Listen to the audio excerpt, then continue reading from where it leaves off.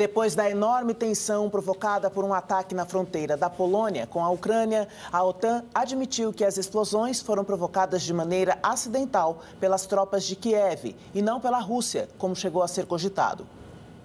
O secretário-geral da OTAN, Jens Stoltenberg, disse que as investigações ainda estão em análise, mas já se sabe que os mísseis que mataram duas pessoas na Polônia não foram lançados diretamente pela Rússia. Stoltenberg explicou que provavelmente, e é isso que ainda está sendo investigado, os mísseis russos foram desviados pelo sistema de defesa da Ucrânia, atingindo a Polônia. Joe Biden, que está na cúpula do G20, o grupo das maiores economias do mundo, em Bali, na Indonésia, já tinha vindo a público para acalmar os ânimos, depois de uma reunião de emergência com os líderes da OTAN.